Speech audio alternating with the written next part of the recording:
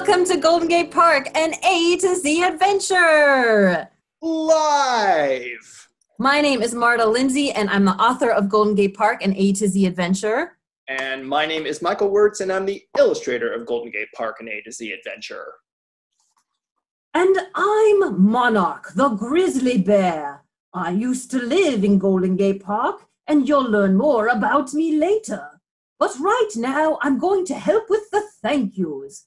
Got to be polite, you know. So, thank you to Phil Ginsburg from SF Rec and Park, who's going to say hi in just a minute. and thank you to Everyone at SF Rec and Park and the San Francisco Parks Alliance, who are helping all of us celebrate Golden Gate Park's 150th online and all year. I would especially like to thank the people who take care of the park and make it so nice for the animals.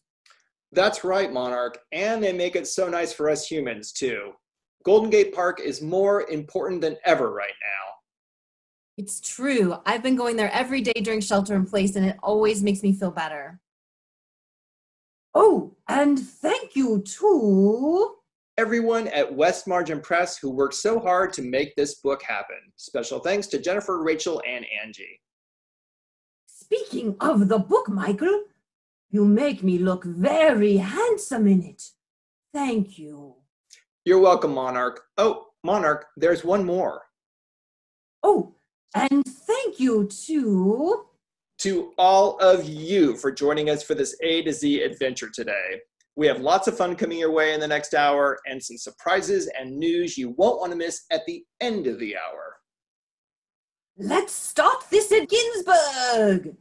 Hi, everybody. My name is Phil Ginsburg. I'm the general manager of San Francisco's Recreation and Park Department, which means I get to be in charge of all kinds of fun stuff like uh, soccer fields and playgrounds and wild spaces where plants and animals live.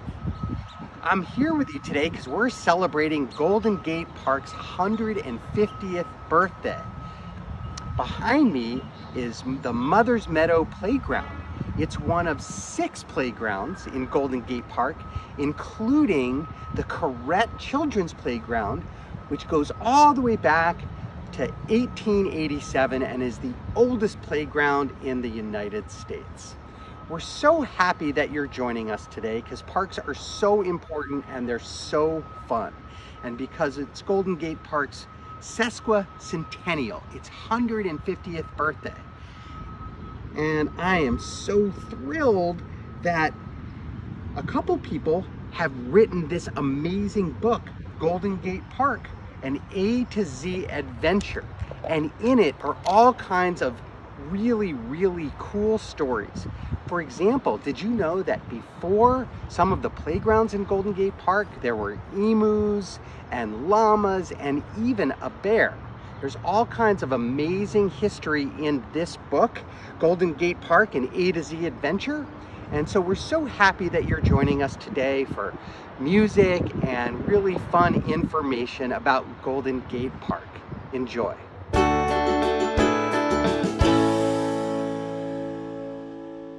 I've lived just a block from Golden Gate Park for 12 years, and I go to the park almost every day. So do my kids. We've explored almost every inch of it, and there are just so many things that make it incredible. And that's what inspired me to write the book. But as I was writing the book, the question that I kept asking was what are the things that are really unique about Golden Gate Park? That's what I wanted to put in the book. I wanted to pick something for each letter of the alphabet that's really special and fun. So let's start our adventure. See what you think. Golden Gate Park, an A to Z adventure. A is for artist Ruth Asawa. Paintings hang on walls, sculptures sit on pedestals, but Ruth Asawa's most famous artwork hangs from the ceiling. You'll find 15 of her wire creations in the DeYoung Museum, along with lots more awesome art. Here's a picture of Ruth. Japanese American artist Ruth Asawa lived in San Francisco, and her sculptures can be found all around the city. Ruth Asawa was an amazing person, and you're going to hear a little bit more about her later on in a special song. But one reason Ruth was so amazing is because she was an activist. And she believed that all kids should be able to do art in school. She helped found the first public art high school in San Francisco. Pretty cool. Stamps of her baskets are coming out this August. Now, you can find her sculptures on the way to the elevators in the DeYoung. Uh, and then and you don't have to pay to go in to go see those. And then you can also get bonus points if you're doing an adventure by looking for her sculpture in the Japanese tea garden. And there's some little frogs hiding around this sculpture. B is for bison. These gigantic beasts, also called buffalo, have lived in the park for more than 100 years. In 1924, 25 sneaky bison escaped in the middle of the night and surprised people living in the nearby Richmond and Sunset neighborhoods. That's where I live in the Sunset. So, bison. Bison were brought to the park as part of its Wild West feel in 1891. And then a baby bison was born in 1892. And the breeding program ended up being really successful. 500 bison calves have been born in Golden Gate Park over the years. And it actually helped keep bison from extinction. It was part of um, helping grow the populations around the country. Of course, there are now five yearlings that were recently added to the park. Very cute. C is for concrete slides. Grab some cardboard and ride the slides. These concrete chutes were built in the 1970s in what's now the Koret Children's Quarter, one of the oldest public playgrounds in America. Phil Ginsburg did say the oldest. So you can add sand for more speed the next time you ride these. This is also a classic San Francisco experience because you'll find some concrete slides like these hidden in different hilly neighborhoods around the city. And that's my daughter on the right taking her first ever ride on the concrete slide. This is a important rite of passage for every San Francisco kid. When the Koret Children's Quarter opened in 1888, the idea of building a place just for kids to play was a very new idea. And in fact, it is thought that this was the very first public playground in the country. No concrete slides back then, but lots of fun things to play on. And you see there were donkey carriage rides and even performing elephants. D is for dahlia. There are so many flowers in the park. It's hard to believe that it was the land was just once a bunch of sand dunes. One of the best flower spots is Dahlia Garden, which bursts with eye-popping blooms of San Francisco's official flower. Here are some of them. So beautiful. Dahlias were made the official flower of San Francisco because they are the very symbol of San Francisco life and of the spirit of her people, thanks to their beauty and diversity. I love them, and they're going to be coming into bloom soon by early June, so keep that in mind. E is for ecosystems. From a mountaintop cloud forest in the botanical garden to an underwater coral reef in the California Academy of Sciences, you can travel to some of the most extraordinary ecosystems in the world without ever leaving the park. When you, for example, go to the coral reef at the California Academy of Sciences, you're in the Philippines. And then if you head to see these very rare wax palms with striped trunks in the botanical garden, you're visiting the cloud forest of the Andes Mountains. The park is also home to its own native ecosystems, scrub, dune, and woodland. And there's even an old growth forest of coast live oaks. Definitely go check out the Phil Arnold Trail to see these. It's amazing. F is for fairy doors. Look for fairy doors in hidden spots throughout the park. Leave something from nature, an acorn or a shiny stone, as a gift for the park's most magical residents we love looking for fairies and fairy doors in Golden Gate Park. And my two favorite spots are in the music concourse and in the fallen log behind the Japanese tea garden. But the park is 1,017 acres, so who knows how many more fairy doors there are. G is for grizzly bear. It's true, a famous grizzly bear named Monarch once lived in the park. Monarch tried to escape more than once, but unlike the bison, he wasn't successful. He was the model for the bear you see on today's California state flag. And of course, you already met Monarch earlier today in our adventure. Now, Monarch lived in the park from 1894 to 1911 in an enclosure that was at the far end of what's now the AIDS Memorial Grove. He had a mate and two cubs during this time, too. H is for Hippie Hill.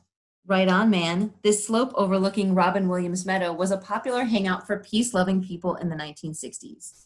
Stop by today and you might see drummers, dancers, and even a few tie dye shirts.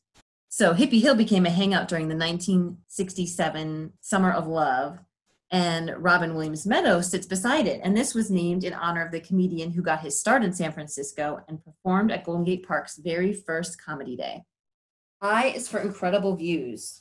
Want to see the glimmering Pacific, shimmering skyscrapers, and the Golden Gate Bridge? Head to the park's best lookouts Strawberry Hill, the living roof at the California Academy of Sciences, and the Hammond Observation Tower in the de Young Museum. This really is one of my favorite spots. If you've never been to the Hammond Observation Tower in the de Young, it's a must. And of course, you'll see Ruth Asawa's baskets on the way. And of course, someday we're going to have a really incredible view from the Sky Star. J is for jam sessions. From fiddlers at the Hardly Strictly Bluegrass Festival to jazz players in the tunnels, some serious jamming happens here. Music has been part of the park since its creation. The Golden Gate Park Band has played here since 1882. Of course, a lot of famous musicians have played in Golden Gate Park, from Paul McCartney Outside Lands to opera legend Luciano Pavarotti. And then that tunnel you see there that I mentioned in the book um, is known as the Conservatory of Music. It's right next to the Conservatory of Flowers because so many excellent musicians play there. K is for Karl the Fog. Fog is such a big part of San Francisco that it has a name, Karl.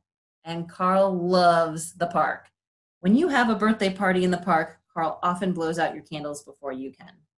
This has happened to my kids more than once. Here comes Karl. Check it out, covering the park. Now, what's the story behind Karl? Well, in 2010, a mysterious account appeared on Twitter for San Francisco's fog called Karl the Fog. And just like the fog, the name stuck around. Karl even wrote his own book. L is for lawn bowling. Decked in white from head to toe, people have been lawn bowling here since 1901. And you can still enjoy other sports from Victorian times too, like fly casting and archery. Fly casting goes way back in the park, but it recently made history in a new way. This girl here, Maxine McCormick, learned to fly fish at the fly casting pools in Golden Gate Park when she was just nine years old. Then, when she was just 12 years old, she became the youngest ever gold medal winner of the World Championship of Fly Casting. Pretty incredible. So maybe you want to go start learning fly casting. M is for monastery stones. William Randolph Hearst had plans for a castle so grand that he shipped thousands of ancient monastery stones from Spain to build it. But he ran out of cash and his plans crumbled. Today, you'll find the stones scattered around the park. This is one of my all time favorite things about Golden Gate Park. So interesting. And what you see here are the plans, the actual plans for William Randolph Hearst's second castle, which was going to be made using the stones from a medieval Spanish monastery. He had all those stones shipped to San Francisco in 11 ships. That's how many ships it took to get them here. But Hearst ran out of money before architects could finish a design and eventually he gifted these stones to San Francisco. Then in the 1940s, a plan emerged to take all of those stones and rebuild the monastery in Golden Gate Park to make it a medieval museum. This is where it was going to be. This is close to the de Young. So the crates of stones were moved into Golden Gate Park at this time. But a series of fires made it impossible eventually to put the monastery together. So didn't happen. And instead, these stones have just really truly ended up scattered all over the park. You will find them in a lot of spots around Stow Lake and in the Japanese tea garden and lots and lots in the botanical garden. And I also have a one mile loop of a scavenger hunt for monastery stones on my website that you can do. They're really cool. And once you know what they look like, you start seeing them all over the place. N is for nesting herons. At Stow Lake in spring, look for great blue heron nests and chicks atop the trees of Heron Island. You can see herons in the park year round, plus red-tailed hawks, Anna's hummingbirds, Steller's jays, red-winged blackbirds, and many others. These are the chicks. So cute. This photo is from just last week. And great blue herons began nesting at Stow Lake in 1993 and in the years since, more than 200 chicks have fledged here. So get to Stow Lake as soon as you can And you might also want to get over to the bison paddock because nearby are great horned owls, a great horned owl with her little chick here. Too cute. O is for orchid. How many weird and wonderful orchids can you find among the 2,000 plants growing in the Conservatory of Flowers? Hint, some live in trees. While you're there, check if the corpse flower is in bloom for a super stinky surprise. So, first, it's fun to just look at this old postcard because the Conservatory of Flowers was built in 1879 and is one of the few Victorian buildings still standing in the park. Pretty amazing. This is the corpse flower that I mentioned in the book. So the Conservatory of Flowers has five of these. Their full name is Amorphophallus titan- titanium. Titanium behind. They have these behind the scenes. They're taking care of them, and it takes seven to ten years for a plant to store enough energy to even bloom. And then it's only in bloom for two or three days, and that's when it is very, very, very, very smelling lots of different things people say it smells like, but they all say it smells horrible. P is for pedal boats. Want to pretend you're back in time? Head to Stow Lake. Victorian visitors rented boats and did just what we do today paddle past Huntington Falls, float under the rustic bridge, and then dock at the boathouse. I love Stow Lake because you really can feel like you are experiencing the park just like Victorian times. So the islands, the waterfall, the bridges were all built in the 1890s. And you can see from these pictures and these postcards, what are they doing? The same things we do today. And another thing is in Victorian times, that's when it was believed that Stow Lake was haunted. And this was actually on the front page of the San Francisco Chronicle. Can you believe it? Q is for Queen Wilhelmina Garden. When you plant thousands of tulips next to a Dutch windmill, it makes sense to name it after Dutch monarch Queen Wilhelmina. The Murphy windmill's claim to fame a local girl once rode one of its sails around 25 times. Now, this was truly one of the craziest things I learned in my research about Golden Gate Park. A girl named Velma Tilden was tied to one of the sails and rode the Murphy windmill around 25 times in 1921. She became very famous for this, and she also won a box of candy for each time she went around. Hard to imagine this happening in the year 2020, but pretty fun to think about. R is for roller skaters. Imagine going to the park and seeing 20,000 people on roller skates. That was the roller craze of the 1970s. Today, you can still find roller skaters and bladers grooving at the rink next to JFK Drive called Skate in Place. And one of those might be me or one of my family members. Now, people have been roller skating in the park almost since the very beginning. So if you look at this picture, the track you see there was actually for roller skating. And that just surprised me. I wasn't expecting that to be a thing back then, but it was. But when it really became a thing was in the 70s when it got so popular, some people thought it should be banned with these tens of thousands of roller skaters everywhere. But it wasn't. Thanks to the efforts of David Miles Jr., also known as the godfather of skate, that did not happen. And instead, SF Rec and Park created an official rink in 1985 that we call Skate in Place. And this is one of the most magical places in the park and some of the nicest people you'll ever meet. S is for Shakespeare Garden. Dost thou desire to stop and smell the roses? Then find thy way to this poetic place.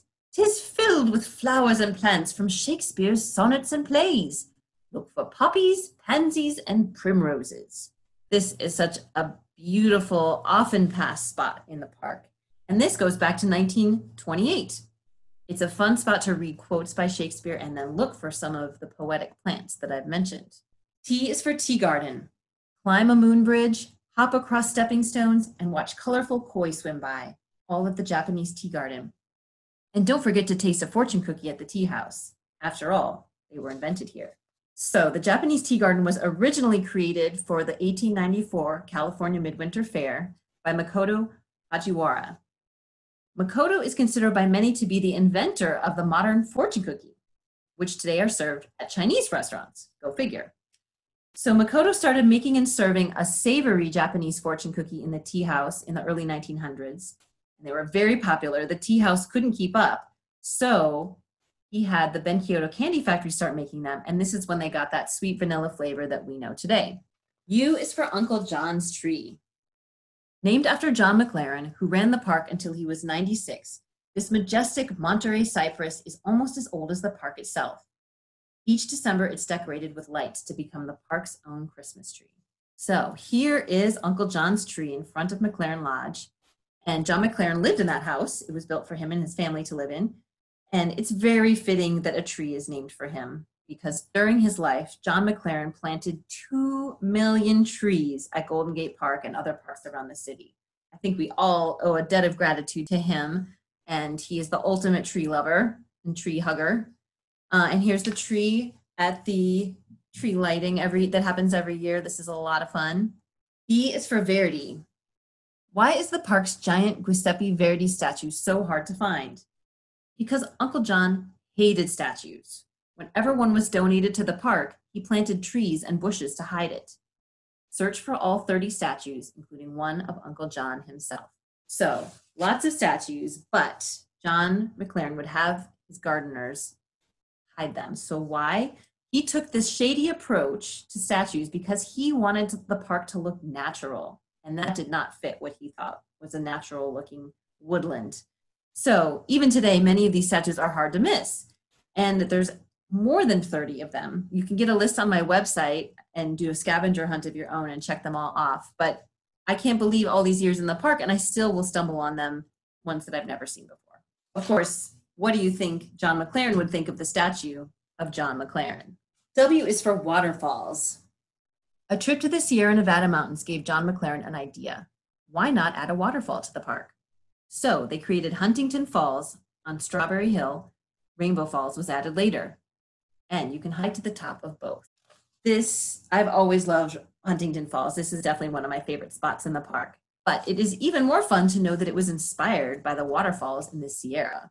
X is for X Chiranthofremontodendron lenzii. Yep, that's a mouthful.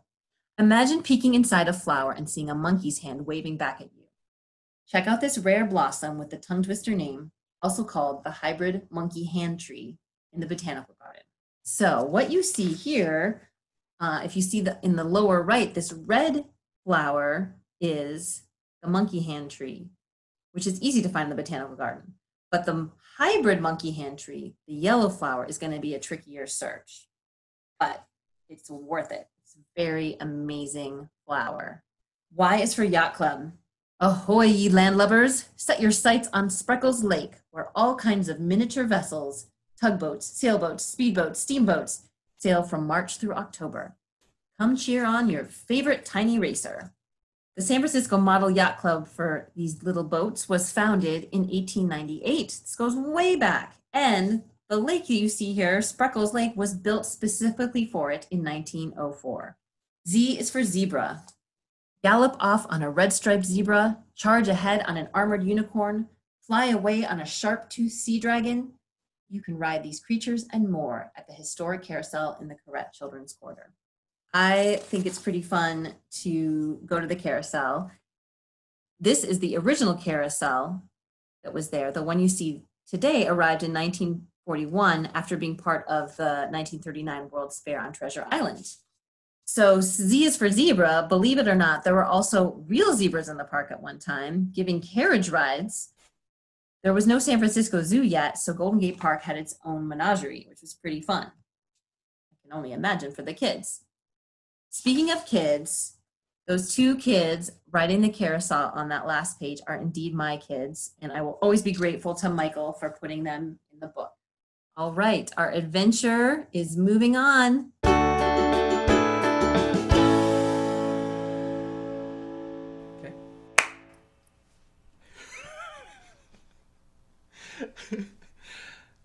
Hi, everybody. We are the Thinking Caps from Oakland, California, and we are sending you tons of love. Uh, this is Chris Hikas back here on the bass. This is Andy Coet, who wrote all the songs, and my name is Ruth Buzzy. this song's called It Is for Asawa.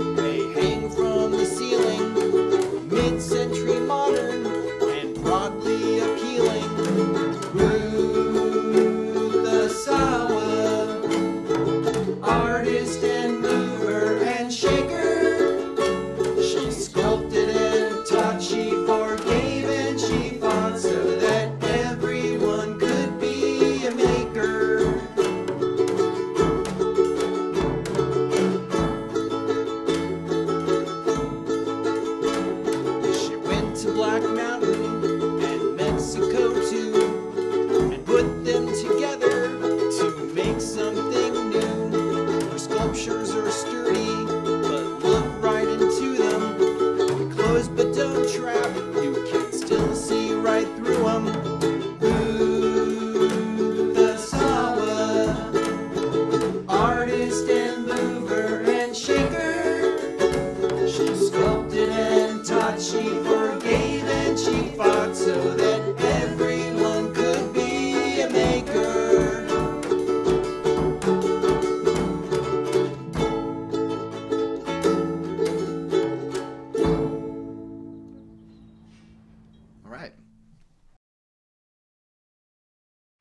for Bison, take one. Uh, again, for Bison, take two.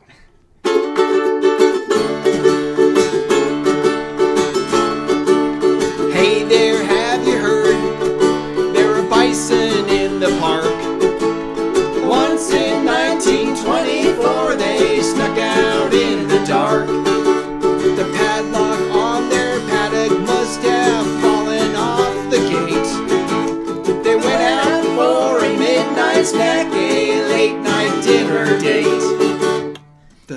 bison are out.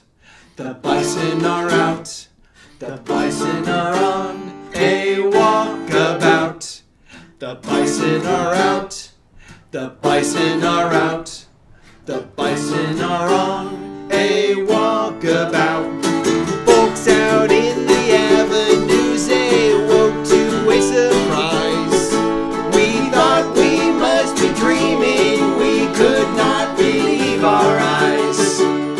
giant.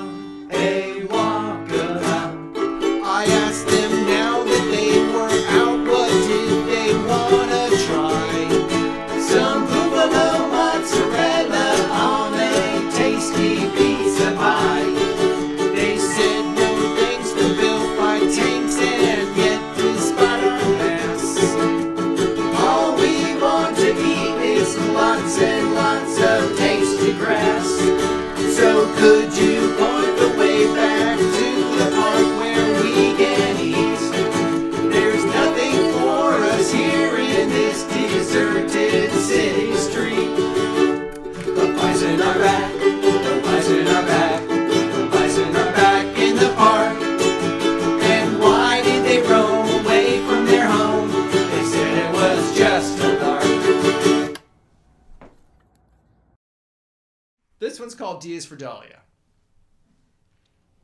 Hello, Dahlia. So nice to see your garden.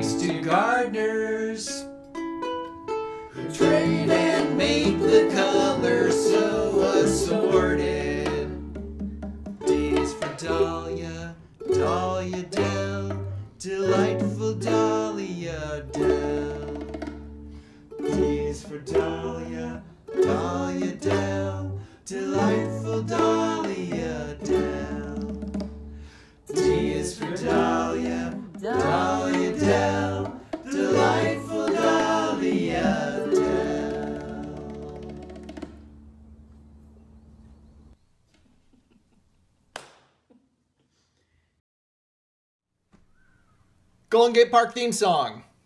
Take one.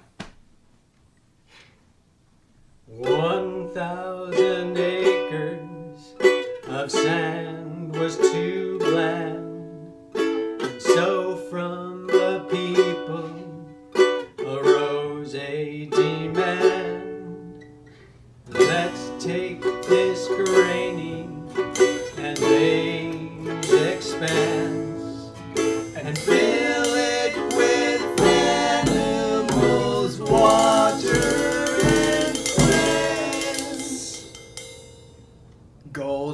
Golden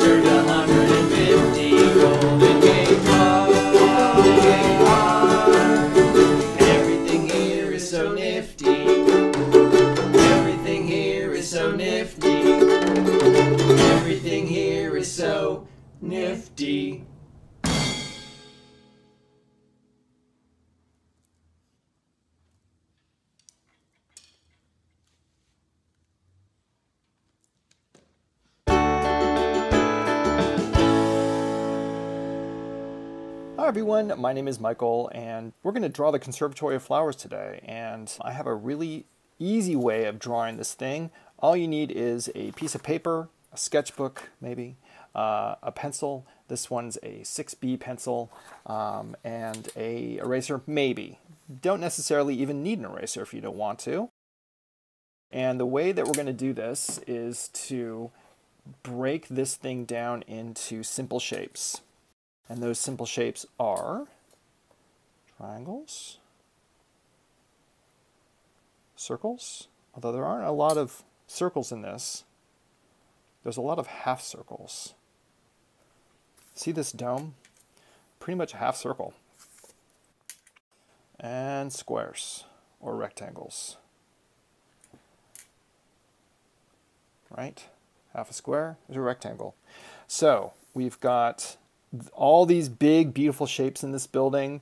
You notice that it's basically one big rectangle at the base, a second rectangle stacked on top with some rounded edges, a third rectangle, which is a little bit smaller, which is underneath the dome, which is a half circle, and then this beautiful little filigree at the top. So we're gonna start from the top and work our way down. So let's just get right into it. So I want to make sure I leave plenty of room on my page for all the shapes that need to happen. So I'm going to make quick indications of where the filigree goes, where the dome is going to live. So I'm just drawing a, just a really rough half circle. And again, like I can go back and change any of this. Doesn't matter. If I feel like I'm getting it wrong, I just draw another line.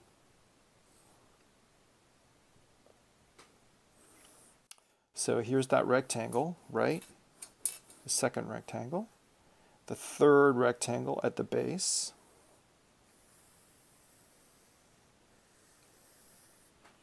I'm not going for exactness here. I feel like drawings are way more interesting when they are done by a human and not by a computer. um, so if it looks like there's a human hand in there, I really like the drawing. So that means making mistakes. So um, it's okay if your drawing doesn't look like mine. It's okay if your drawing doesn't even look like the building. The important thing is just to draw. So let's draw. So I'm just drawing some some triangles. Again, triangles, circles, and squares, right? Drawing some triangles for the top of the building. I'm drawing a half circle for the dome. I'm drawing a rectangle directly underneath the dome.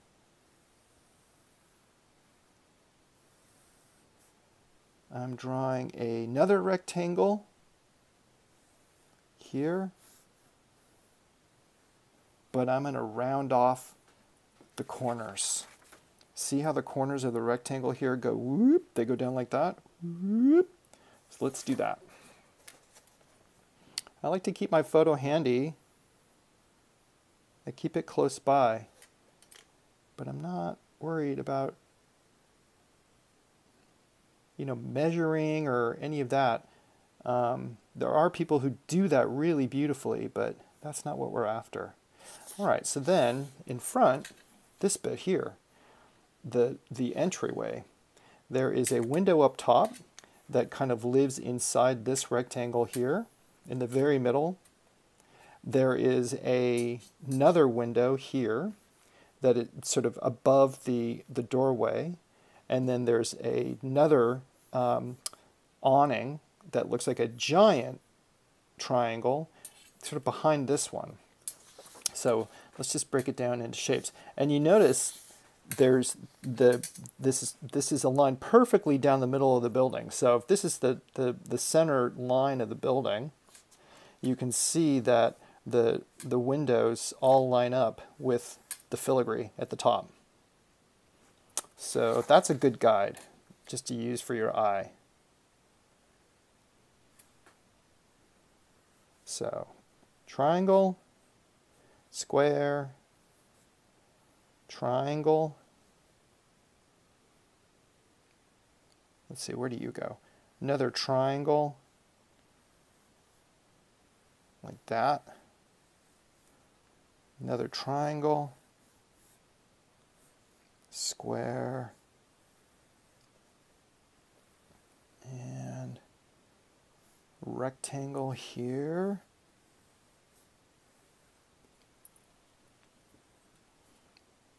And there's sort of a window within the window, so I'm already starting to get into detail here, but it's most important when I do a drawing like this to do big shapes first and then do the little shapes. And now I'm looking, I'm actually seeing that the dome is a slightly different shape. So I'm going to go make, I can go make some adjustion, adjustments and erase a little bit. But it doesn't really matter. I think your drawing is going to be really beautiful and I hope you share your drawings with us. Um, I think there is a, a art contest happening through the park that we're going to be involved with. So I really hope you share your drawings with us. I can't wait to see what you draw from the park. So see how this line and this line are kind of the same, and this line and this line are kind of the same. So I'm kind of getting more into some detail in the in the roof.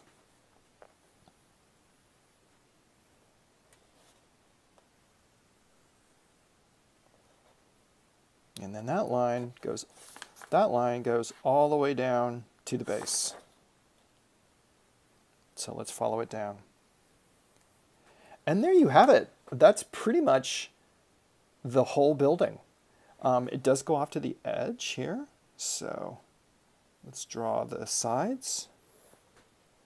And then there's some little details over here. Another rectangle, another triangle,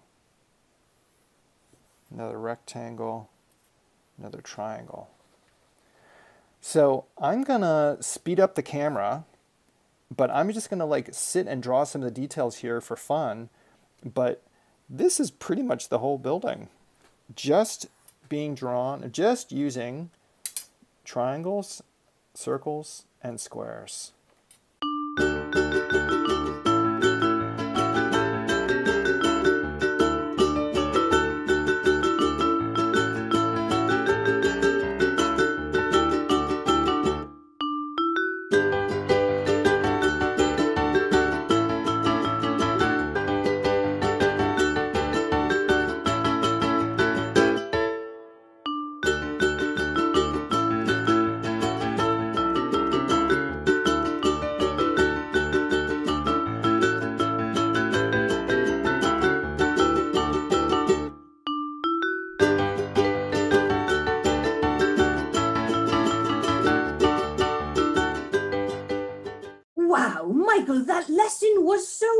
So that even with my very long, razor sharp claws, I was able to draw the conservatory.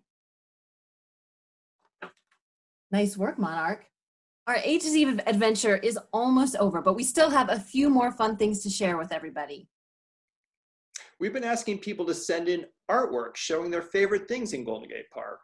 Let's reveal some of those to our A to Z audience now. Michael, I'm to share some of the submissions that we got for our art project and contest. Check these out. F is for fields. T is for tree. B is for butterfly. P is for poppies. H is for horses. B is for bison. Q is for Queen Wilhelmina Tulip Garden.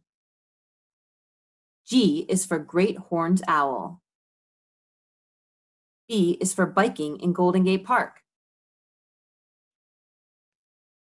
H is for hawk. P is for pine tree. W is for windmill. A is for albino alligator. B is for buffalo. P is for dog. P is for picnic. G is for golf course. S is for Stow and Spreckels Lake. B is for butterfly. F is for Ferris wheel. Thanks everybody for sending those in.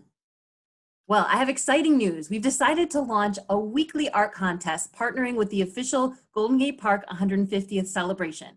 We'll do one letter each week, starting with A, of course.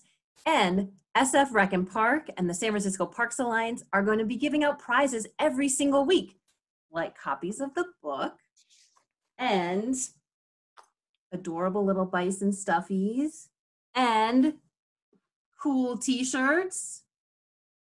So you're going to want to submit maybe even every week for every single letter. You can get all the info and send in your art at goldengatepark150.com. I'm looking forward to seeing all of your art. I'm so excited for all the new adventures people are going to have in Golden Gate Park too. You should tell them how to get the book.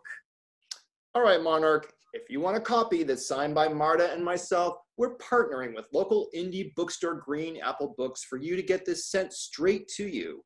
And I always draw a special picture in the book. You can make a note of who you want it personalized for. greenapplebooks.com. Our local independent bookstores really need your support right now, and you can get Golden Gate Park and A to Z Adventure through any of them. Or you can also go to bookshop.org, which when you purchase the book through that, it splits the profits between in the indie bookstores in your area.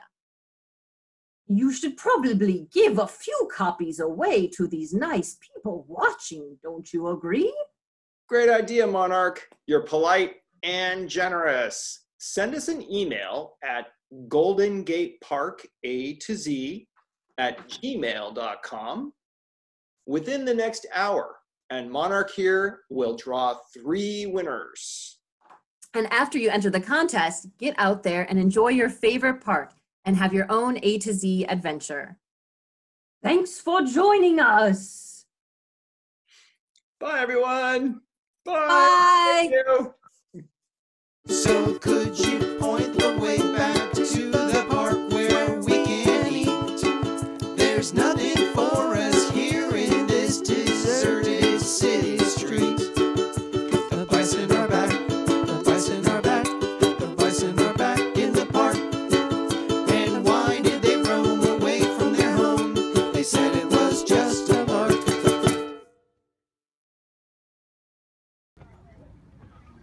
Hi there, I'm Michael. I'm the illustrator of this new kids book, Golden Gate Park an A to Z Adventure. The author is Marta Lindsey. It's being released by West Margin Press in May of 2020. Uh, I'm here to wish the park a happy 150th birthday, so come along with me. Happy 150th birthday to the DeYoung Museum. Do you have a special outfit for your birthday, DeYoung Museum? Happy 150th birthday to the statue of a Sphinx. Statue of a Sphinx, I gotta tell you, you're my favorite statue in the whole park. What do you say to that? Strong silent type. Happy 150th birthday to the fairy doors.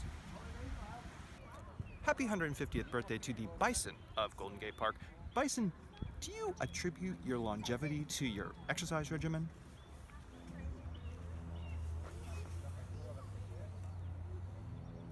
Happy 150th birthday to the California Academy of Sciences. California Academy of Sciences, you have a special trip planned for your birthday? Happy 150th birthday to the Monastery Stones.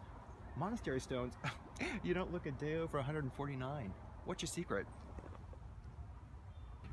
Happy 150th birthday to Hippie Hill. Hippie Hill, my question for you what's your favorite kind of birthday cake?